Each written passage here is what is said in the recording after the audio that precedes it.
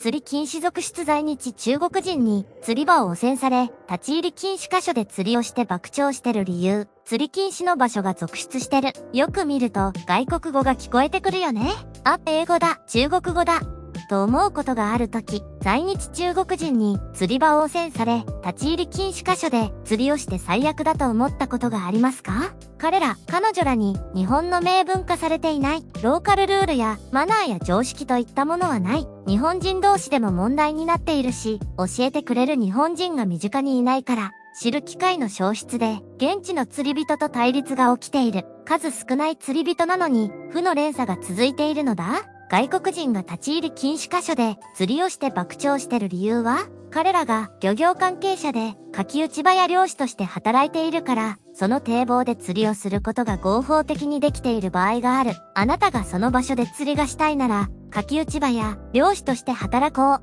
私たちが職種を変えると同じ特権が与えられるよ。